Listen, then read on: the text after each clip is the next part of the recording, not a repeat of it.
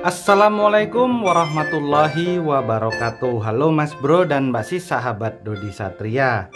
Nah di kesempatan ini saya ingin berbagi tips ataupun cara untuk menurunkan berat badan Ataupun melangsingkan perut yang gendut dan yang punya obesitas ataupun kegemukan Yang pasti tips ini alami jadi aman untuk siapa saja yang akan mengkonsumsinya walau secara rutin dan jangka waktu yang lama. Tapi sebelum itu, saya ingin minta kepada Anda untuk menekan tombol like video ini, share juga ke media sosial dan jangan lupa juga subscribe agar Anda tidak ketinggalan informasi-informasi menarik yang saya bagikan di video berikutnya.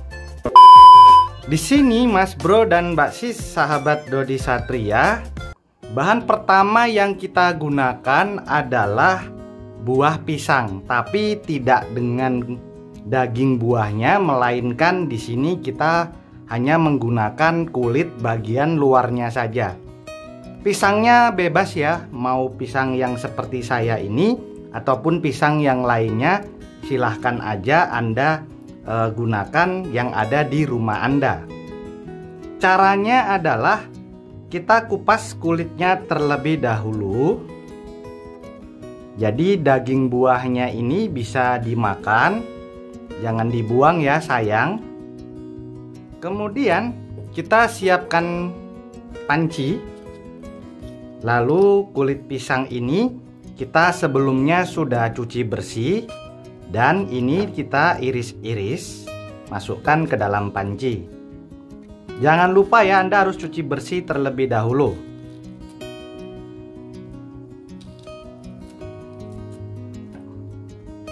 Kemudian bahan kedua yang kita gunakan adalah buah timun.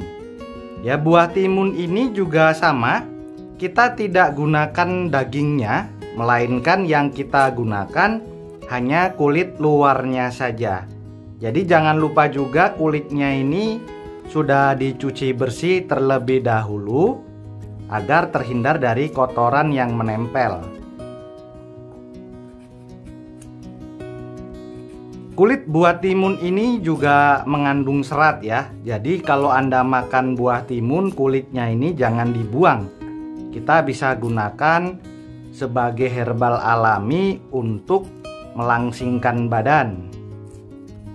Dan selain itu juga ini kulit luar buah timun tinggi sekali namanya zat klorofil atau zat hijau daun. Jadi zat klorofil ini seperti antioksidan yang mampu untuk menangkal radikal bebas.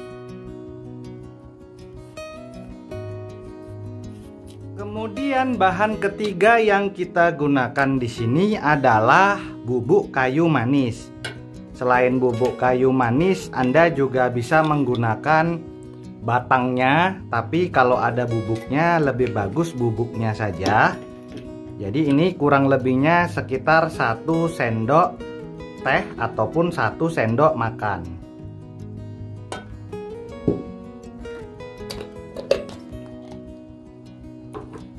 Lalu ini mas bro dan mbak sis kita tambahkan air mentah atau air biasa sebanyak satu gelas setengah lalu kita rebus hingga mendidih dan menjadi satu gelas. Setelah hangat kita tuangkan lagi ke dalam gelas ya dan ini siap untuk kita konsumsi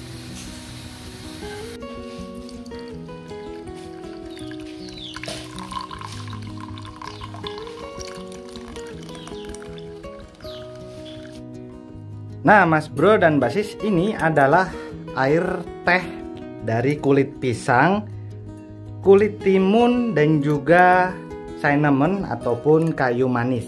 Jadi sesudah hangat ini Ini siap untuk kita minum ataupun kita konsumsi. Nah konsumsilah herbal ini Kurang lebih sekitar 15 menit sebelum kita makan setiap hari cukup dijalankan satu kali saja, maka insya Allah berat badan Anda akan segera turun dengan teh herbal yang menakjubkan ini.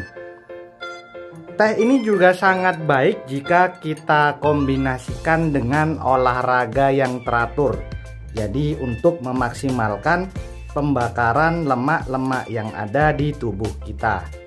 Nah, semoga tips yang sederhana ini bermanfaat untuk Anda semuanya yang memerlukan, yakni cara membuat ataupun menurunkan berat badan secara alami dengan kulit pisang dan kulit timun. Jangan lupa like, share, dan subscribe.